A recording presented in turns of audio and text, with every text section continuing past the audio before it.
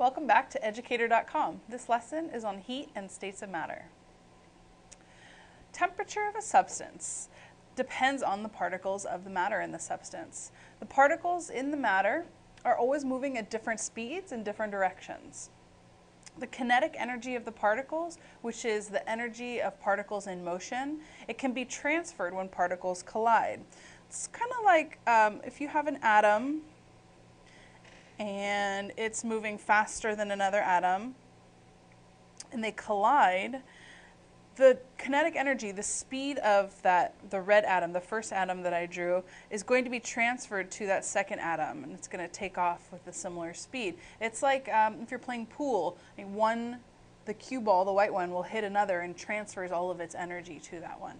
So that's what happens um, with all the particles that are moving around in solids, liquids, and gases. Well, solids not so much because they really stay in fixed positions, which we'll talk about later. But in gases and liquids, the particles are moving much faster and they have much more collisions. So this happens much more frequently the average kinetic energy of the substance. So the average of how fast these particles are moving is called the temperature of the substance. So when you put a thermometer into a substance, what you're actually measuring is the speed that the particles are moving, the average speed. Not all particles are moving at the same speed, even though the substance is the same temperature. You'll have some that are going slower and some that are going a lot faster, and they're consistently crashing, colliding into one another, transferring their kinetic energy back and forth. But on average, you're measuring, uh, that's what you're measuring with the temperature, the average kinetic energy. Um, when you measure temperature, the units that are used in science are kelvins, and you can um, abbreviate that with a, a, large K, and then degrees Celsius, which is with the degree sign and then a large C. So we are most familiar with degrees Fahrenheit in the United States, but really nowhere else do they use that temperature scale. So we need to know how to convert from Fahrenheit into Celsius and into kelvins. So we'll take a look at this first this first one, Fahrenheit to Celsius. If you are given a degrees Fahrenheit and you want to change it into Celsius, this is what you use. So, if you are out in the desert and it's 122 degrees out, you're going to use this formula. You get 122. You substitute that in for that F. Okay, so you're going to end up with 122 minus 32, and that will be in your parentheses. You're going to multiply that number by 5 ninths, and that will give you your degree Celsius. So order of operations, you need to do what's in the parentheses first. Uh, 122 minus 32 is going to give you 90. So you have 90 times 5 ninths. It's going to equal your degrees Celsius. So these will cancel, and you'll end up with 50 degrees Celsius is what you have. So 122 degrees Fahrenheit is actually 50 degrees Celsius. That's a super hot day, really in the middle of the desert. All right. Um, another way to do that same formula to end up with a negative number. I, wanna, I want you to take a look at this one.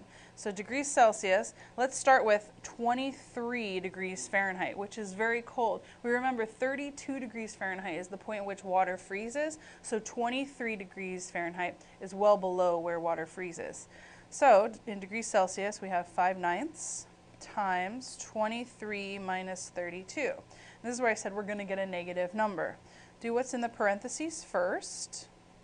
23 minus 32 is going to be uh, a negative 9. Multiply that by your 5 ninths equals degrees Celsius.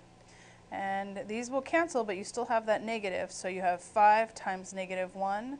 So it's negative 5 degrees Celsius is 23 degrees. Degrees Celsius, 0 degrees is where water freezes. So negative 5 degrees is below that, so we know we got it right. All right, if you want to go number to the second formula here, we're looking at Celsius to degrees Fahrenheit. We'll do these calculations in blue so we don't get too confused. Uh, Celsius to degrees Fahrenheit, let's start. This is when you start with degrees Celsius and you kind of want to know what that is in degrees Fahrenheit.